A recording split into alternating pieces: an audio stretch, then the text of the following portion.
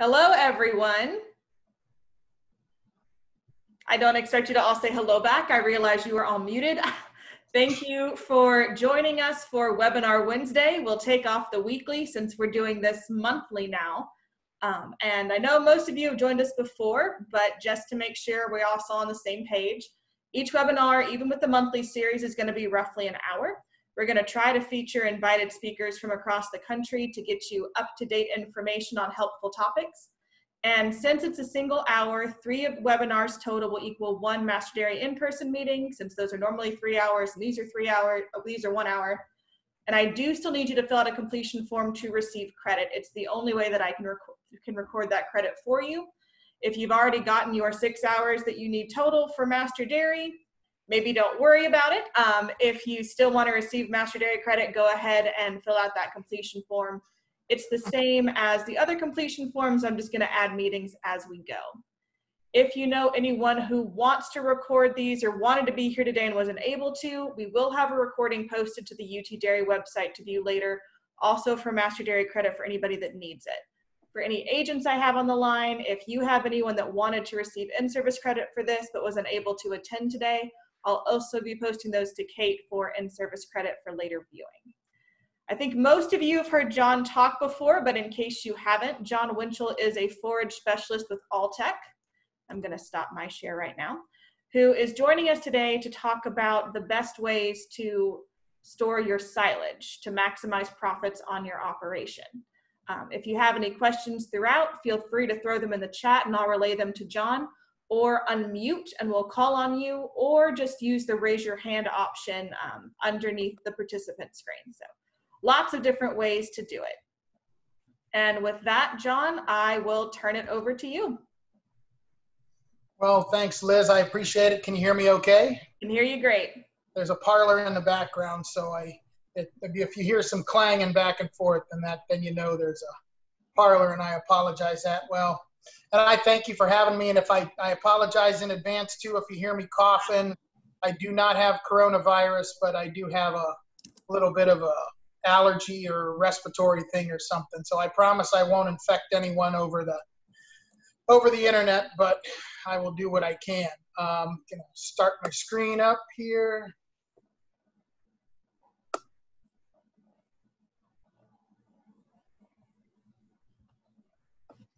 Stop my video. No one needs to see me. Um, Liz, can you see? I can see your screen. You're not in PowerPoint mode yet, though yet. Is it there now? I can see your PowerPoint, but it's not in presentation mode. Oh, it isn't? Hmm, it is here. Huh. There you go. Okay. All right, we're okay now? We are perfect. All right, I appreciate it. And again, uh, my name's John Winchell. I live in Eden, New York. Um, been down to Tennessee a few times. Was actually supposed to be down in Tennessee here in two weeks, but with the all this impending coronavirus, I am actually not allowed to go down. New York State has put a uh, a restriction on Tennessee and uh, obviously other states as well. So I'm looking forward to coming back down and stopping at farms down there, but looks doesn't sound like it's going to be this month. But I will get down there as soon as I can. Um, topic I'm going to talk about today. It, you could talk about this topic for hours. Each slide you could probably do a presentation on. So I'm going to give you kind of a 30,000 foot view of what I look for with silage storage and, and bunker management.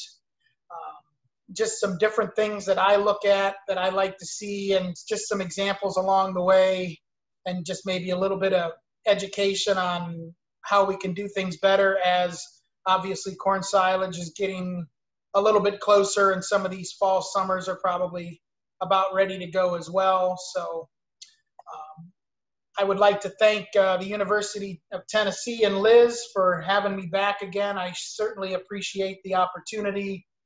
Um, and we have a good partnership together and we work very well together. So um, I appreciate it. Um, but some of the key points that we're going to talk about today, I'm going to kind of hit on. Uh, we're going to talk about correct harvest dry matter and maturity.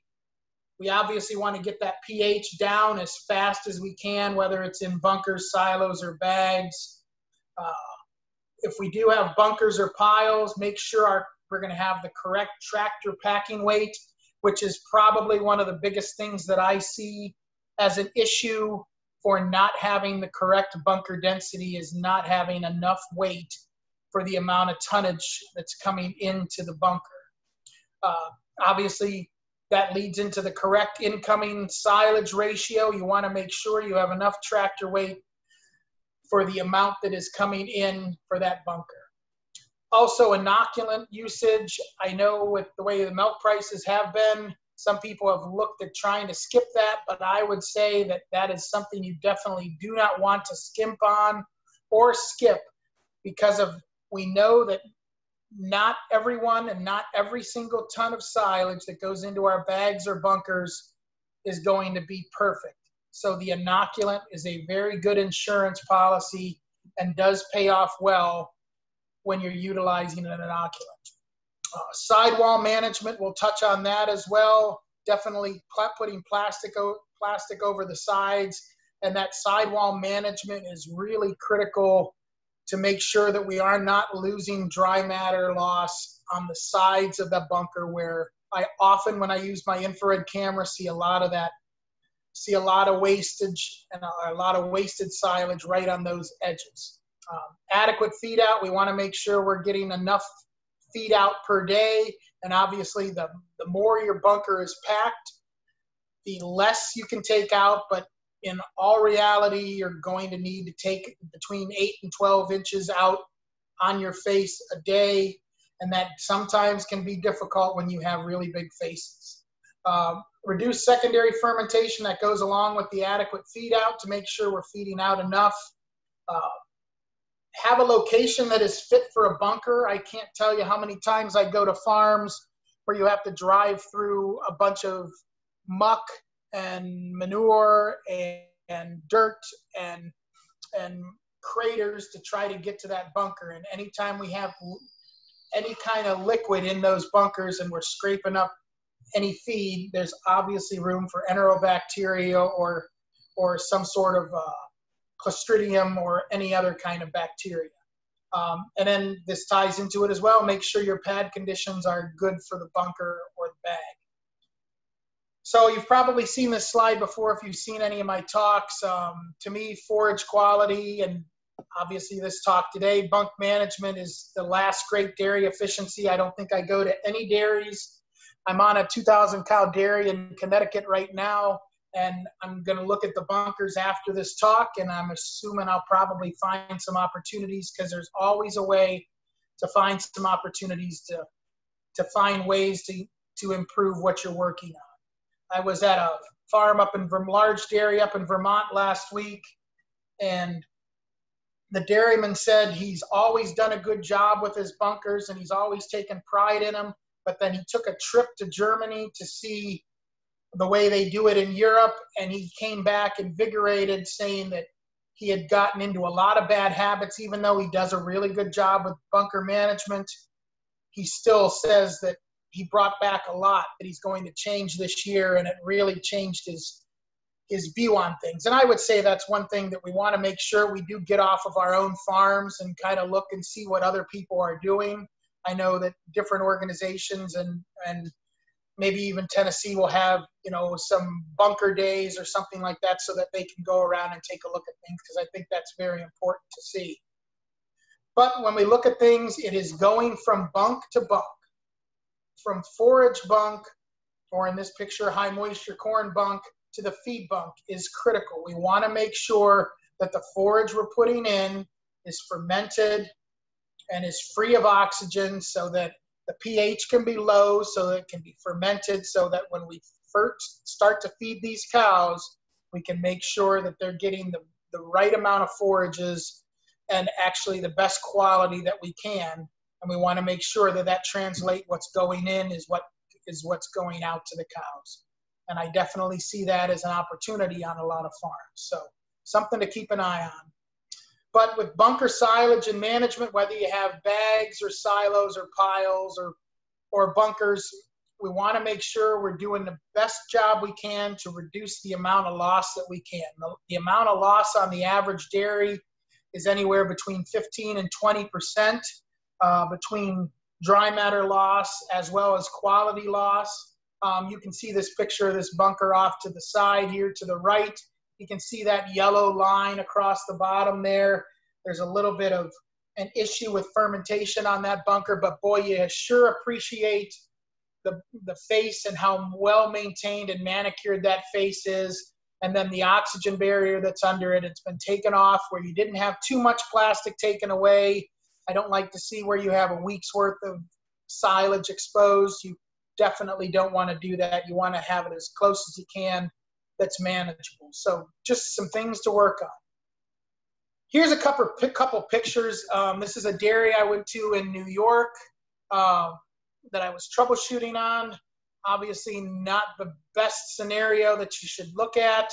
Um, I looked at this bunker when I pulled into the driveway, and I said, "Oh boy, there's a that's a tough one to get to." And he says, "Well, he says I'm not using that bunker at the moment because he said the uh, the mud is too deep and I can't get back to my silage." And he said, "So I had to switch bunkers." So hopefully, this isn't a anything that you have on on your farms in Tennessee, but I do see these things from time and time from uh, on occasion. So just something to definitely take a look at, but just kind of an example of what I do run into.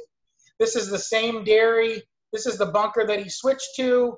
And this is a picture of the feed. And he was pulling off some of his silage waste, but he did not cover his bunker.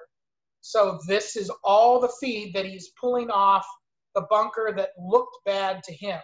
We all know that there is much more silage waste that we do not see and reduced dry matter and reduced energy energy losses within this excuse me within this silage so this is definitely an example of of a herd that's going to be 25 to 30 maybe even more percent waste you can see over top of this picture there's a corn silage um, pile right behind that i was there in the in the early spring and it was not covered. So obviously that's not the greatest situation either. So definitely some things to work on. This is another dairy that I went to in Ohio that um, said he had some struggles with um, with feed heating and some silage management issues and wasn't sure necessarily what was going on.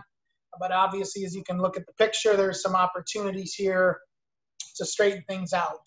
But as we saw that there are issues on certain farms and we all have these things that get away from us sometimes there are beautiful examples of bunkers that are really manicured and that's the term i like to use are manicured and managed very well this is a herd that i work with in new york that just started doing that just built uh, a bunker a couple years ago and they've really worked on bunker density this is this this pile here is averaging about 18 pounds of uh, bunker density dry matter per square foot.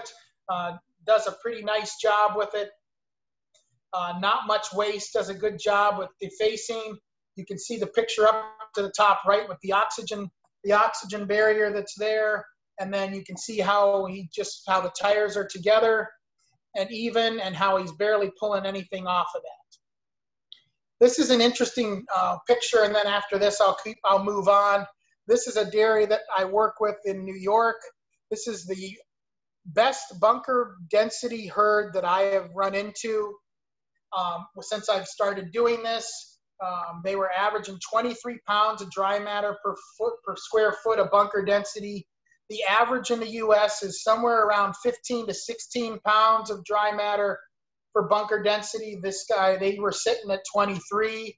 If you look right behind in that top left picture where I have the, where it says 23 pounds, you could not take a pencil because I'll do something that I call a pencil test where I will take a pencil and try to stick a pencil into the bunker to try to see how far I can push the pencil. And that kind of gives you an idea, kind of a rough idea how well your bunker is packed. And I could barely get the pencil into this bunker and I could not pull any feed off with my hands. Now, if you notice, excuse me, this is a very high producing herd in New York. But if you look to the top right picture, you can see there's a sidewall there that's really at a sharp angle. And they can't deface the bunker at that side angle. They actually bring a payloader in to kind of to, to bucket it or scoop it out. So I have an infrared camera that I use quite a bit on farm. And if you look at the picture to the left, the bottom left, you can see that green and blue and a little bit of yellow, but that shows that that bunker is really, really stable. That face is really stable, but then you see that bright red chunk that's right there on the right side of that bottom left picture. And then you look at the picture right to the right of that, and you can see all that waste. So you can see the huge difference between when they're using a defacer on a well packed bunk and then when you go in and gouge that and jut that out from that, because of that sidewall, you can definitely see the secondary fermentation. So those red, so that red and white, excuse me, is definitely some secondary fermentation and some heating. So in this situation, he was feeding his his low cows first and he was going in and using the real nice cool section of the bunker and then feeding the other way to the to the higher cows. And after I showed this picture and I did this presentation for him, he said, uh, "You know, that's kind of a dumb thing that I'm doing." He said, "I should be doing it the opposite way." And I said, "Yeah, you really should be." And I said, "I figured you were." And he said, "No." So what he ended up doing is going and and using the well defaced part for the high cows. And he did message me back and say that he did get some increased milk production on that high group by moving from this feed that was heating to that regular feed. So even herds that are doing a great job with bunker density, there's always opportunity for something to, to tweak and something to look at. And, and just look at it as opportunities. So we all use our sense of smell a lot, and, and sometimes silage can smell wonderful, sometimes it can smell really bad, and sometimes it doesn't even smell at all. So to kind of talk about the different smells of silage. we don't hear about this too much. But normally when I see things and when things are going really well and the silage seems real stable and the bunk management is really good, typically that silage is almost going to have not much of a smell at all or maybe a tick of a sweet smell to it. Um, that is a that is a smell of a, of a silage that is fermented pretty well. Then we run into some other smells. We run into these moldy smells. It's kind of a, a musty smell. Usually you run into that with some drier corn silage. It's just got that kind of what I would call a harvester, a harvester smell to it. Just has a little bit of that burnt, musty smell. And usually when that situation happens, you're running into drier corn silage and some yeast and mold count and potential for mycotoxins. and that usually happens on these drier corn silages. Then sometimes we'll have an earthy smell. We'll see that at the bottom of bunkers a lot. Uh, this is typically when you have um, some bacillus problems or some clostridia problems. You have a real high pH, which means it didn't ferment like it should, and then you have a lot of oxygen uh, permeation and, oxy- and uh, aerobic spoilage, and that burns up a lot of the feed. So when you have that earthy smell, the feed quality is not going to be what it says on paper. And usually you're going to have an, a higher ash content in your forage sample as well. A few other smells real quick.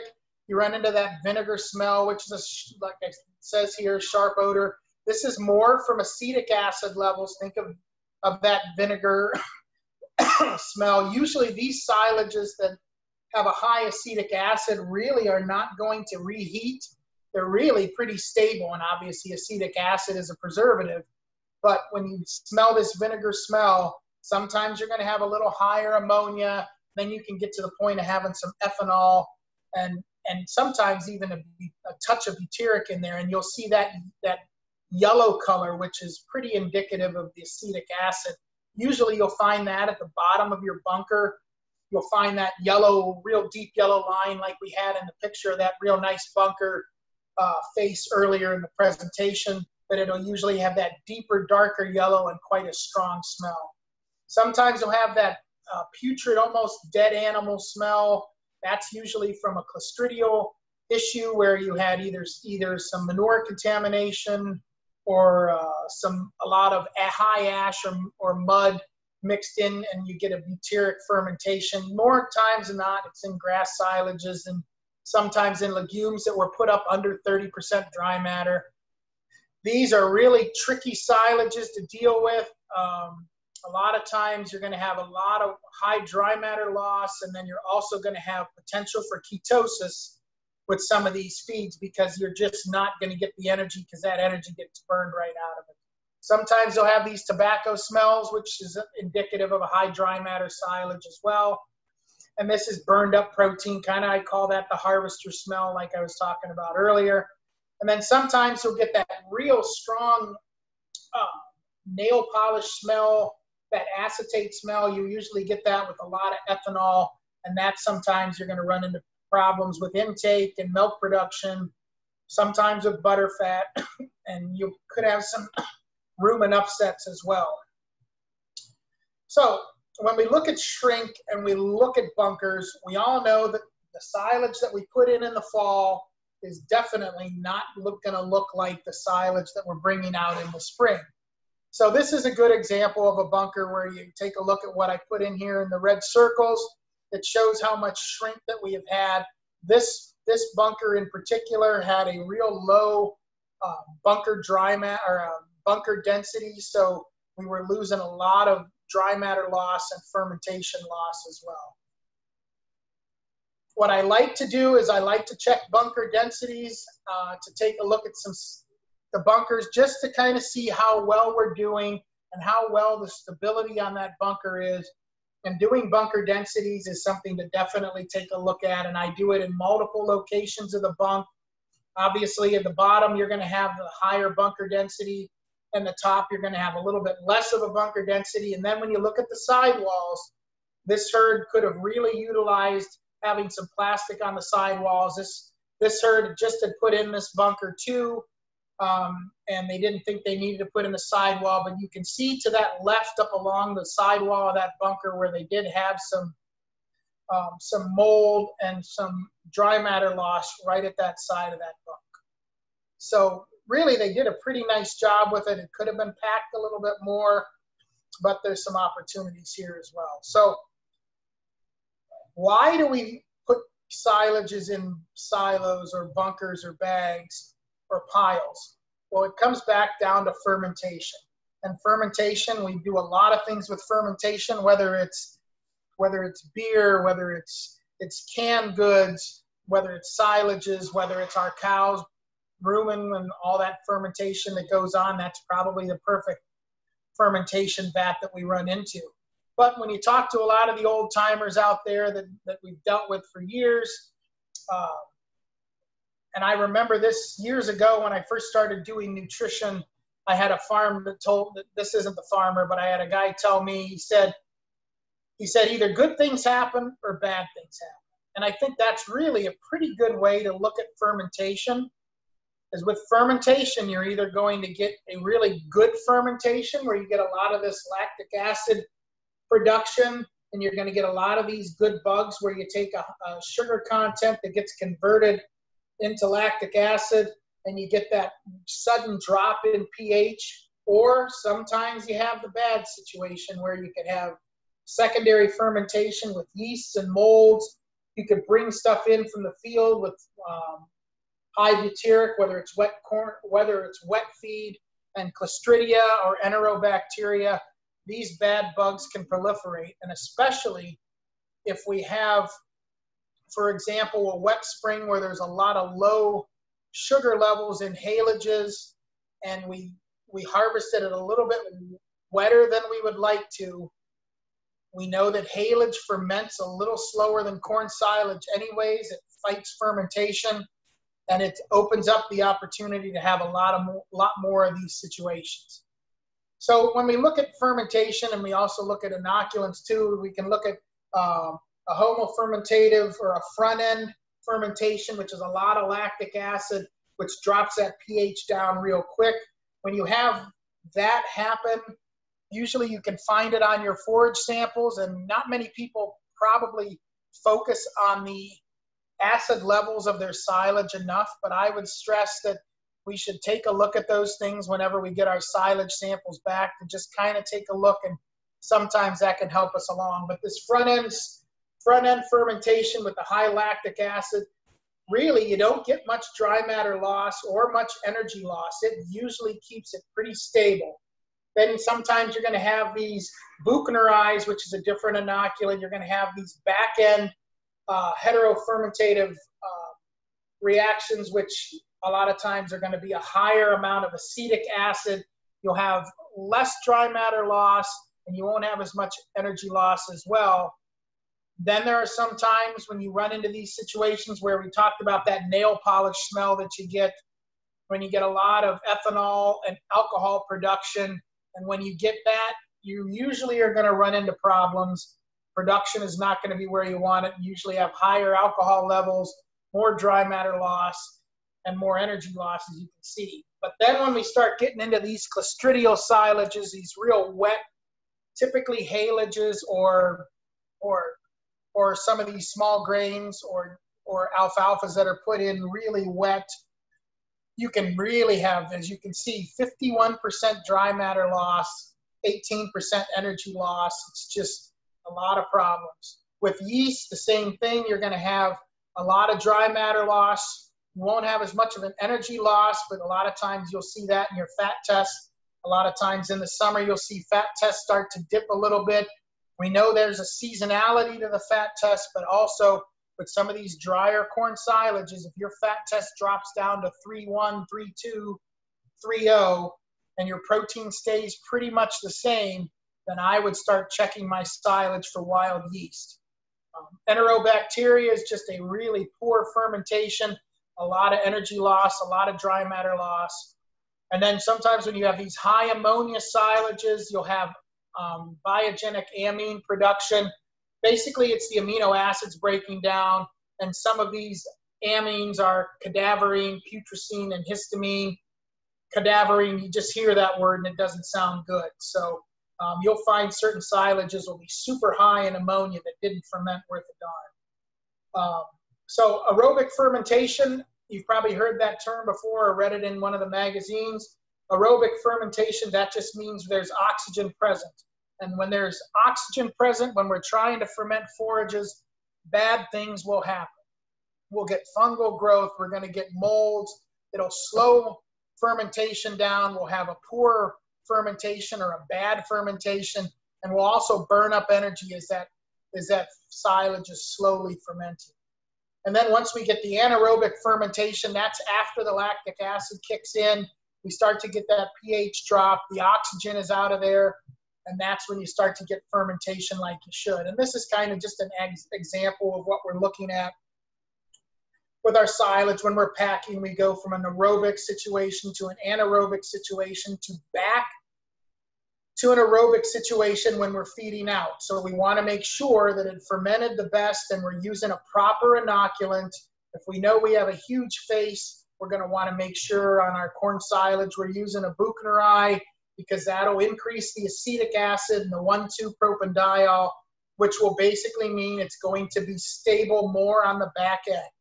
A lot of these combination inoculants that have lactic acid, as well as Buchneri, and a couple other strains as well do a good job of mixing that up together. This is kind of the same slide that we're looking at. We want to get rid of oxygen, then we want to convert that sugar into lactobacillus, which is going to lower the pH, turn that to lactic acid, and it's going to raise, raise the acid in that silage. And once we get to that point of lowering the pH and raising the acid, a lot of these bad bacteria and, and and bad things will not happen once you get there. Um, to look at a silage loss chart, I go to so many farms and we figure out their bunker density and look at their percent loss. And a lot of people say, there's no way I'm losing that much out of my bunkers. So this is a nice chart that I that I that I've seen in a couple different presentations where we talk about the processes of silage loss. So residual respiration, basically after you mow, say your haylage, for example, um, or corn silage, chop your corn silage, you're going to have respiration. You're going to have a specific amount of respiration is going to happen. You could take a silage sample that's real fresh and put it in a Ziploc bag, maybe to give to your nutritionist. And if you do that and he comes there an hour later, you're going to see that water in that in that Ziploc bag, and that's going to be some of that respiration. You're going to get one to three percent loss typically right there, and there's really not much you're going to do about respiration. Uh, fermentation, you're going to always get a little bit of loss during that fermentation process. Obviously, the goal is to re- is increase the pH, or sorry, decrease the pH so that you can you can get that um, fermentation a little bit quicker, so you'll lose a little bit less. Effluent, um, that's obviously runoff in the bunker or making some too wet of silages. Controlling dry matter at harvest is super critical, and we'll talk about that in a second but then you're going to, you could potentially get five to 7% loss there. You're going to have wilting losses no matter what you do, especially in your haylages. Then we start to get what we can avoid. When you look at secondary fermentation, whether you're feeding off the bunk, too big of a bunk, for what you're using, for how much you're using, or the amount of cows, or you didn't pack that bunk enough, you're going to get that heating and secondary fermentation, which can open you up to yeast as well. Um, you'll get aerobic deterioration during, during silage. That is something that if you have the bunker packed or you take a little bit of time sealing that bunker off or you have a dry mat or your silage is going in too dry, you're going to have loss there. And that's one of the largest places that I see loss on farm is you're going to get this deterioration just because bunkers weren't packed enough or dry matter was too high on a lot of your forages. Um, then you're going to get this deterioration after storage, and this is what I was talking about earlier. Um, issues with feed and face with bunker management, um, sidewalls, making sure you're doing enough with the sidewalls, and dry matter has a lot to do with this as well. So when you add this up, that could actually add up at maximum to 40% loss. And most people will say, oh, there's no way you can ever have 40% loss, but I could take you back to those pictures that we were looking at here earlier on some of the examples and say, I don't know, that's probably a pretty good and probably pretty close to 40 to 50% silage loss. One thing that I always look at is I wish that there was a, like the, the, the uh, scale we have on our TMR mixer, I wish there was a scale on a bunker that could show how much was going in versus how much is going out. And I know a lot of people will keep track of dry matter by looking at the size of their bunker, and then they will they will notch or take a, a tail chalk and mark and see how long it takes to go from panel to panel, and that's a good way to take a look at that as well. excuse me, sorry. I am going to make it through, I promise. Silage losses with various management. There are certain situations when you don't have real good management you're going to have a lot of loss in that bunker, and that typically goes back to packing, packing and silage management, and also uh, feed out management as well. Then you're going to have this middle section there where you can go either way, but it depends on, like I said, dry matter, bunker, or how that bunker's packed. Then you're going to have the goal, which is four plus five is nine, one is 10, 13. So anywhere between that 8 to 12% loss is really where you really want to make your goal for having bunkers. Um, piles are going to be a little bit harder because of the angles of those piles that you're going to be at and the height of those piles. Um, but in ag bags, you should be able to hit that that five to eight percent um, pretty easy in a bag, even though bags aren't packed super tight but they are covered and they are in a small area that gets fed out a lot. So to hit on harvest timing, to me, this is one of the most critical steps, and you won't hear this much when people talk about um, bunker management, but harvest timing is so critical. It's so critical for the quality of silage, um, the digestibility of silage, and it's also critical for bunker management and making sure we can pack it. If you get it in too wet, you're going to have an effluent issue.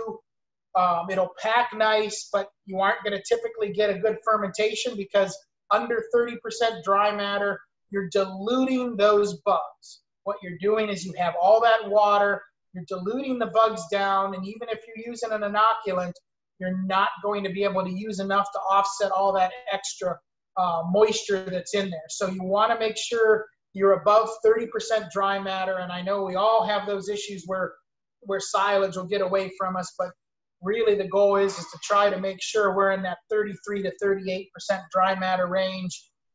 Anytime we get above that 38 range, we're looking for trouble on packing and porosity and also feeding management with that as well because we can run into a lot of issues with heating and yeast and, and molds.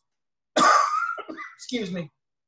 With this wet feed, obviously we talked about the effluent and the butyric acid, the amines, the ammonia, the excess ammonia that you're going to have. Just bad things happen when wet silage goes into a bunker. Um, and the other way, when you look at dry silage, you're going to have always issues with packing density and porosity.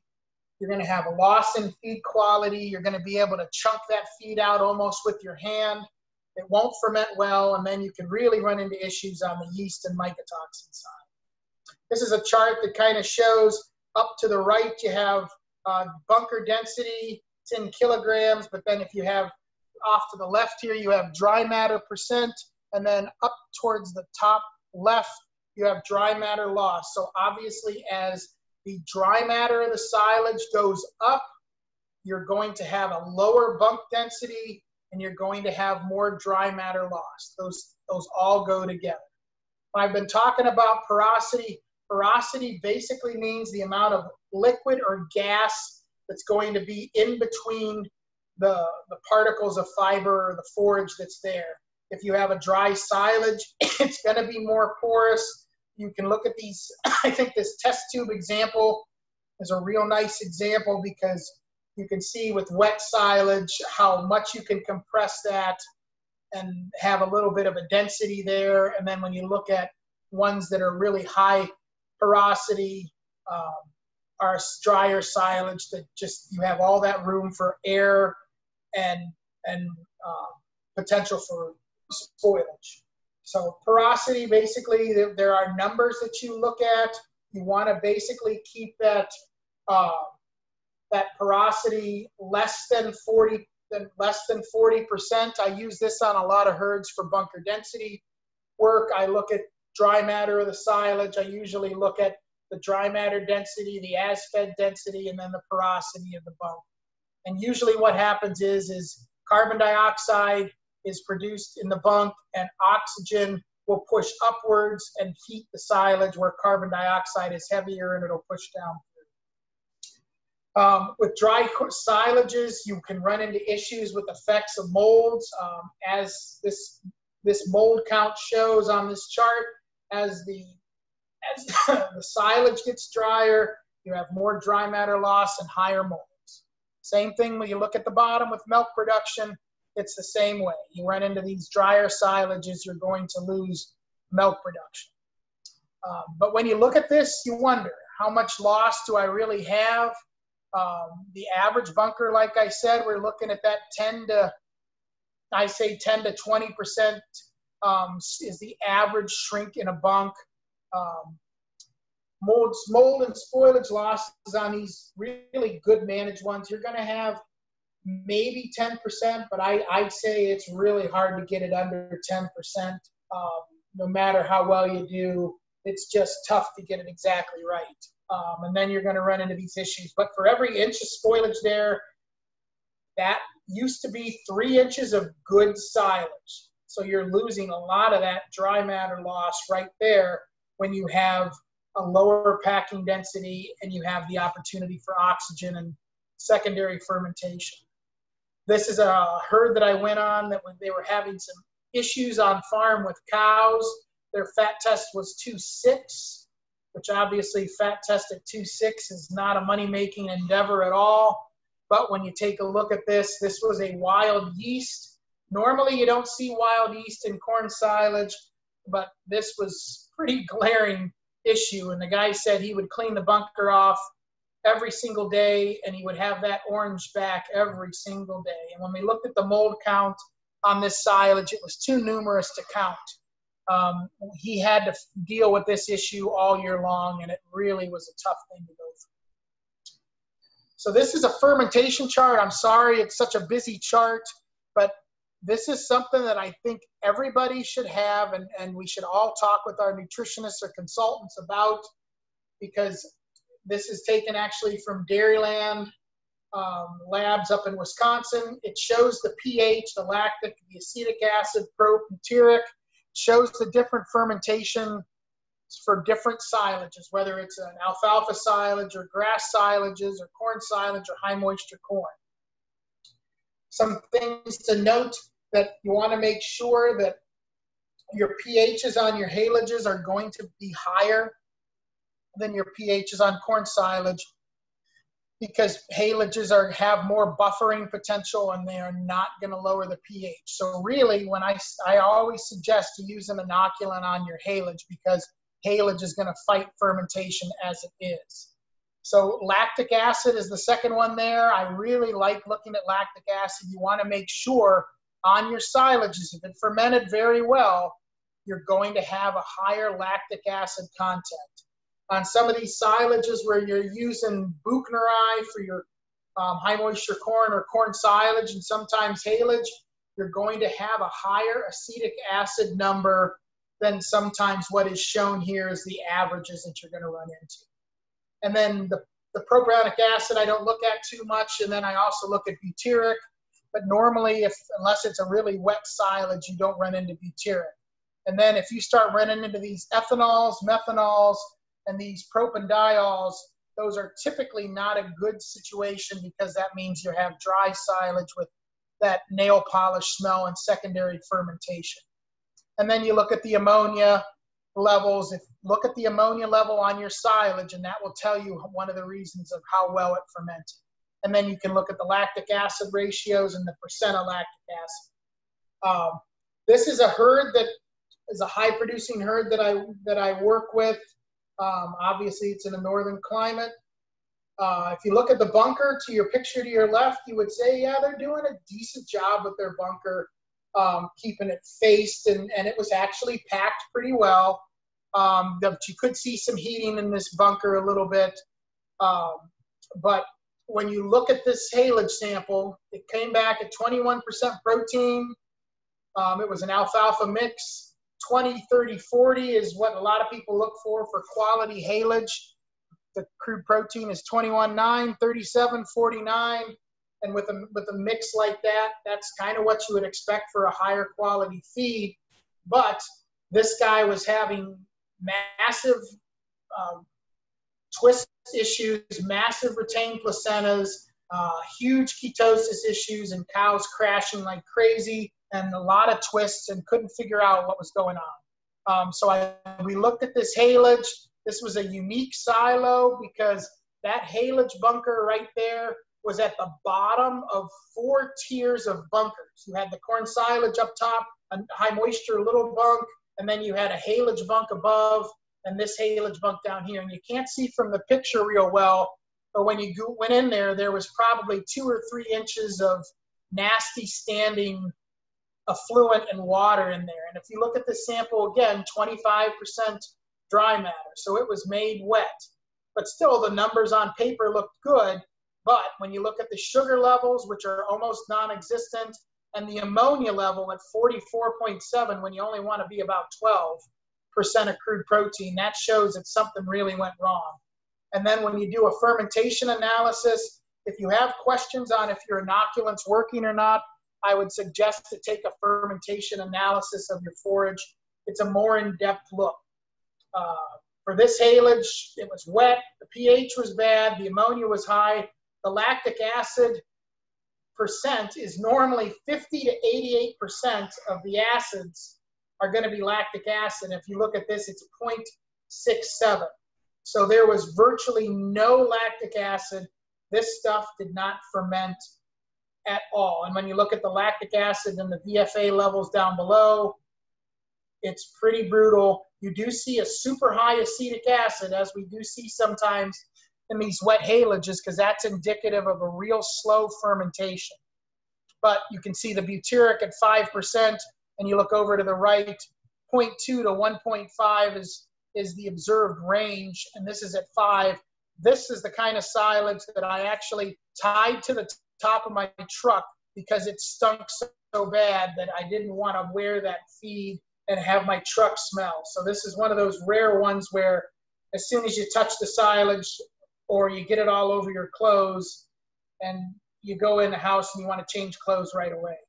Um, looking at harvest dry matter again real quick. Um, you want to chip your corn silage to make sure you're getting the adequate dry matter you can. You want to make sure you're processing your corn silage the best that you can to make sure we're reducing that fecal starch and to make sure you're getting your packer, packing density up to snuff. Uh, this was a chart that's been used for years and years and years. It shows to the left the silage bunker density. To the right, it shows the dry matter loss. So if you have a 10 pound of dry matter uh, per square foot, at if it's if your bunker density is 10, your dry matter loss is 20, at 14 to 15, where the average herds are at, you're going to have that 15 to 16% loss. And then if you can get into that 18 to 20 range, that is where you want to go. That is a sweet spot. That typically means that you have enough tractor weight and you're moderating. You put a governor on those, those wagons coming into the bunker. But the key to packing is you want to make sure, obviously, you have enough tractor weight to manage those bunkers and you want to make sure that the flow coming in is under control as well. And there's different things that we can do. Um, you can use these sheep's foot that I've seen with some of these guys that have worked with construction, that have some construction friends that might have a sheep's foot sitting around. They're very heavy and they do a good job. You don't see them too often, but they're really, really nice to use. These silage packers do a real nice job. I've been very happy with them. Skinny tires, I like the utilization of these skinny weighted tires on some of these tractors, especially when you look at packing sidewalls. One thing you can do to make sure your sidewalls are packed that far, that eight or three feet from the edge of the bunker, is using single tired tractors or skinny tires right along that bunker because we know if we're using duals, it's very hard to get that pressure out at the edge of the tractor. Most of the storage loss is typically going to be in that top section. And obviously, we talked about the weight of the bunker is really huge. Um, so you're not going to get a lot of loss typically in the middle, but you're going to get it in this top spot of the bump. This is some work that was done a few years ago that where they fed top spoilage, and the more you fed to cows, the less their dry matter intake was, and then obviously the lower the digestibility of that forage was as well. So milk production crashes the more of this top spoilage that you're feeding. Um, putting bunker covers on, I see some of these these green covers that you run into. Uh, obviously, the, the two, two plies of plastic, whether it's an oxygen barrier, which I overly suggest, um, as well as putting another white, another plastic cover on and tire to tire cover. I see this too many times where I see it was kind of covered, but kind of not. And more often than not, you're going to see spoilage. And especially if you're using an oxygen barrier, you want to make sure you have tire to tire coverage so we don't have that oxygen barrier lifting up. Looking at faces, obviously you can use rakes, you can use uh, defacers. Um, a lot of guys still use buckets. Buckets are really hard because you scoop and chunk into the, the, the silos or the bunkers and you actually lift up and allow oxygen to go in and create secondary fermentation. There are some people that can do a real good job with, with buckets by going sideways and dragging with their buckets, but really defacers and, and rakes are kind of the best way to go.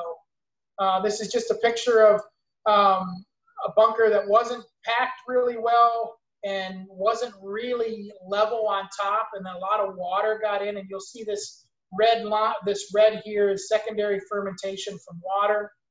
Facing equipment, we just talked about that, the differences between shavers and rakes and buckets. I would suggest definitely using an inoculant, whether it's a combination inoculant or on your, on your uh, high moisture corn, corn silages to use a uh, a heterofermentative or heterolactic inoculant like a buchneri. it definitely will pay. And this is a meta-analysis that shows that you're definitely going to increase the stability of the silage by using an inoculant, and especially on that side with the buchneri inoculant. So if you have a huge bunker face or a pile face, you're definitely going to want to use a, a, a buchneri form of inoculant. Uh, this is just a, an example of what we do or what I do for, with Alltech on bunker densities to do bunker audits on farms, just to look at the percent loss so you have an idea where you're at.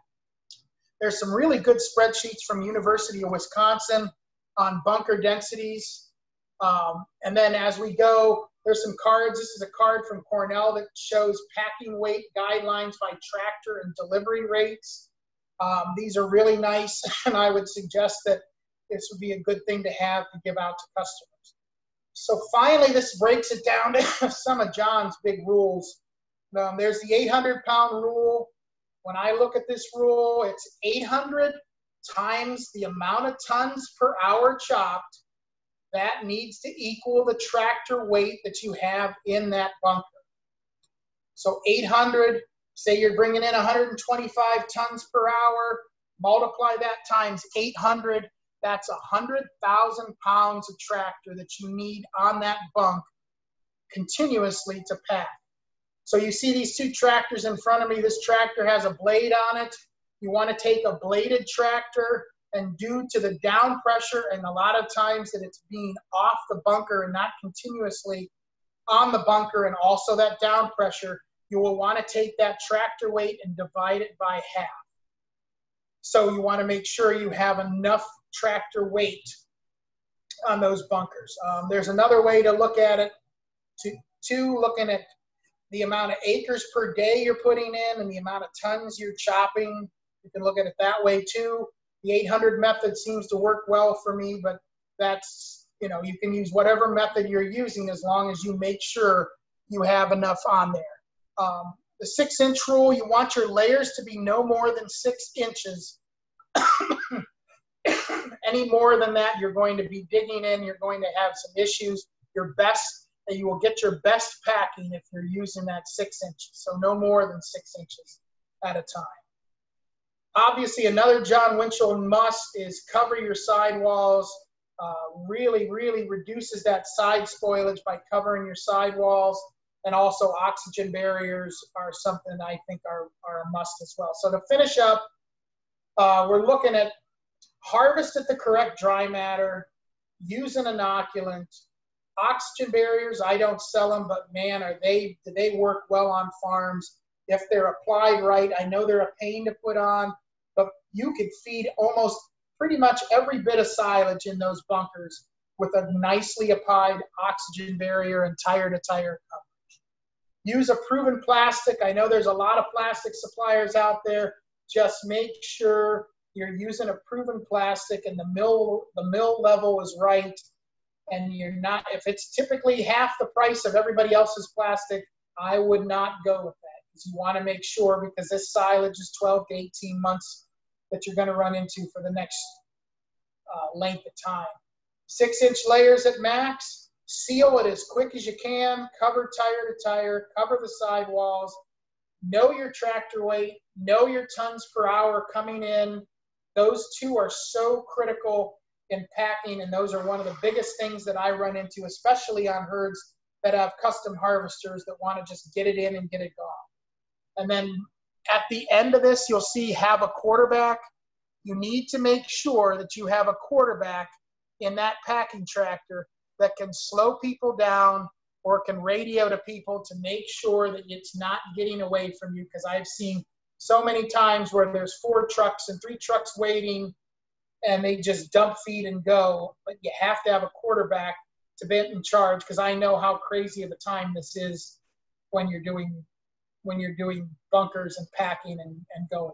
One last thing I think as the future comes, we're starting to track bunker inventory with drones. I think it's a pretty cool technology. Alltech has some people that can do this for you where we can actually take a drone. We have to get a pilot's license and we will go in and we will take and fly over your farm using the, the grid and GPS coordinates, and you will actually type in the dimensions of the bunk, and the drone will actually report how many tons are in that bunker if you have dry matters and you have um, the dimensions of that bunker, but it figures out the dimensions for you. But you will have a pretty good idea on the footprint. So this is kind of some of the things that are happening in the future. Um, I want to thank Liz and University of Tennessee for allowing me the time to talk. And sorry if I rambled a little bit, and if you hear the parlor noise was a little bit much of a background, I apologize. But um, thank you for your time. Um, Liz, still with me?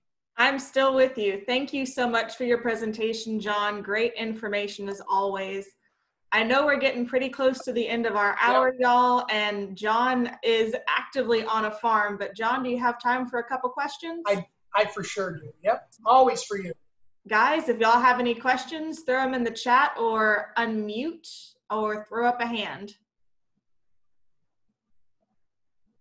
I know I went through a ton of stuff in, in 50 minutes.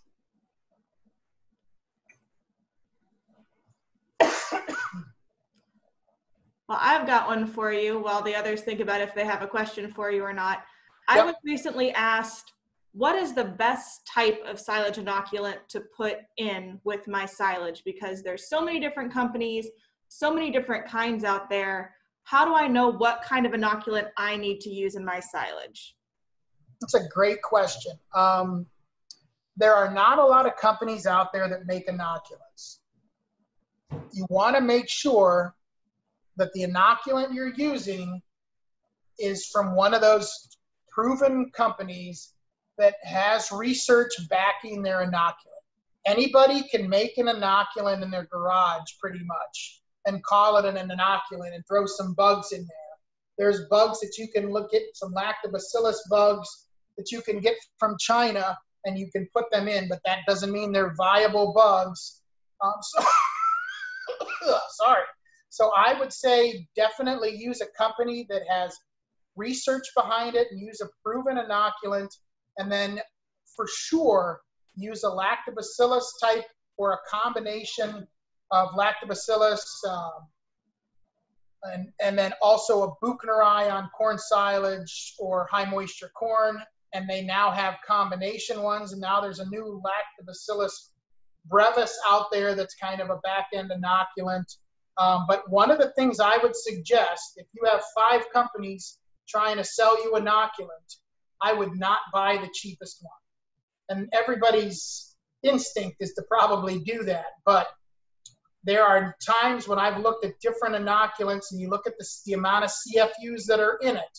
And the CFU game is really a tricky game because the, you can write anything on your CFUs and depending on the colony, colony forming units that you're working on, you can have different ranges. And so definitely make sure that it's a reputable company and that it is something that you can trust and make sure that you ask them if it needs to be how it needs to be stored. It needs to be stored in a refrigerator. Typically normally if they say it doesn't need to be stored in a refrigerator you just leave it in a cool environment somewhere in the office. I don't really know if i would trust that situation at all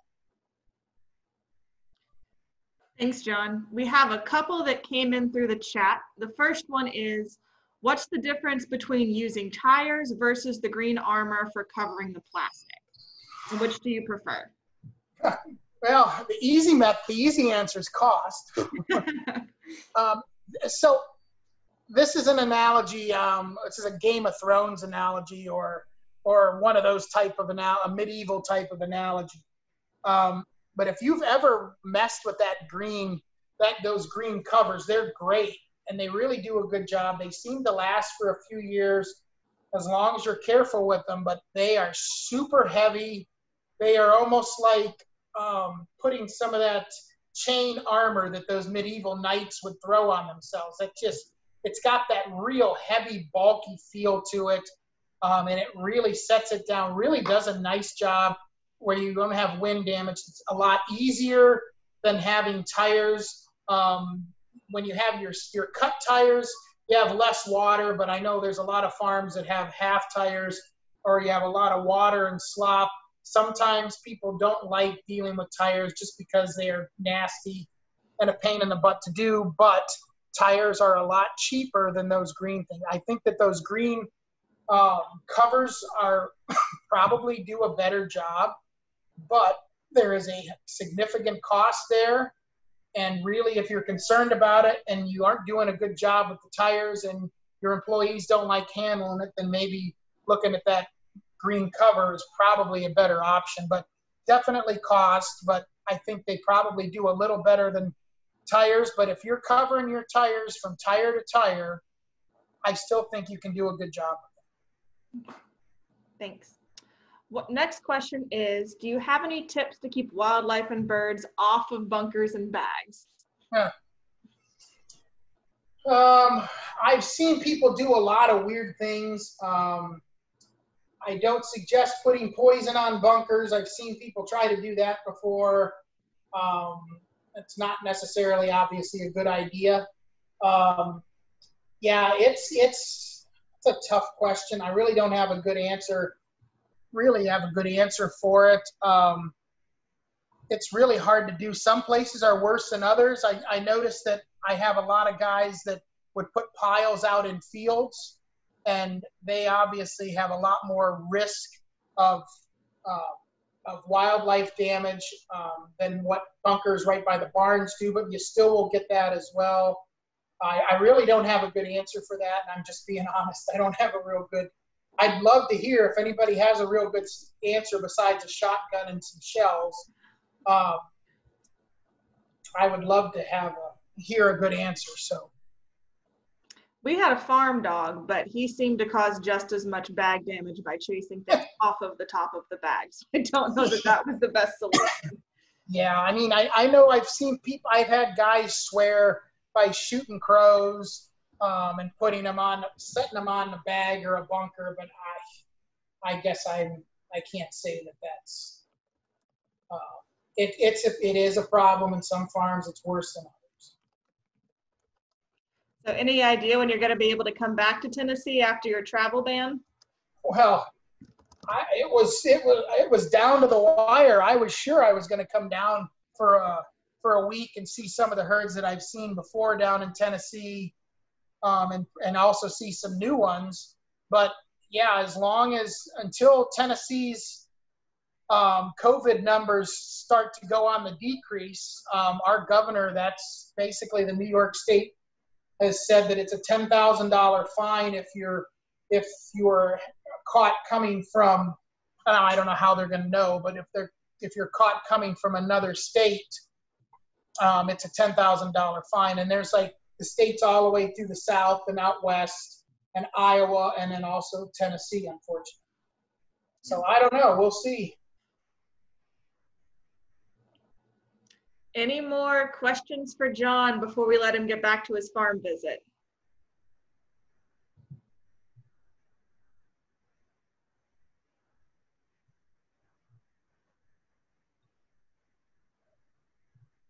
All right, it's looking pretty quiet. So just as a reminder, y'all, if you would like Master Dairy credit for this, please, please go and fill out the completion form. That is the only way I can count y'all to know that you were here today because thank goodness a lot of you have been on, so that's great.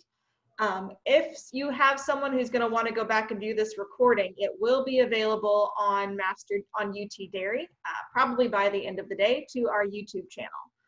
Um, and just another aside for those of you dairy farmers who are still on, I'll send out an email about it later, and I'll talk to all of your agents as well.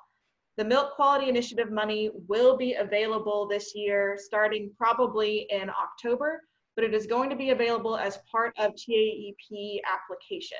So it will not be a standalone program this year. John, I know that has nothing to do with you, but wanted to throw that out there no, that's fine. for the interested farmers. So as we get more information on that, um, I'll be sending out updates. I'm sure you'll get some through TDA as well as that keeps going, but that program will be in place this year.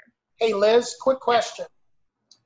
Um, I know we're running over now. Sorry. Um, are is corn tasseling yet down in Tennessee? I think it probably depends on which part of Tennessee we're in. I know some guys got corn in really late this year because we had a whole lot of rain. Yep. Um, so some places I've seen it still only looks like about a foot tall, and some places might be tasseling. Yeah, and I, those southern guys. Chime in. But the reason I ask is because I want to just make sure to remind everybody to write down on your calendars when you tassel, um, because that's kind of the halfway point. And you can use growing degree days and, and utilize um, some different online programs to help you with your your corn silage harvest. And by knowing that tassel date, that's really important part of that puzzle. So. Thanks, John. All right, I'm not seeing any more comments in the chat. I don't see anybody raising their hand or unmuting. So thank you very much for your time. Uh, we really appreciate you you taking time out for us Tennessee guys to talk about forages. No problem. Thank you. I appreciate it. Thank you. All right, everyone. I hope you have a great rest of your Wednesday, and we'll see you later.